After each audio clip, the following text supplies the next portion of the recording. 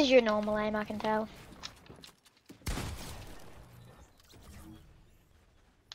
I didn't even edit that.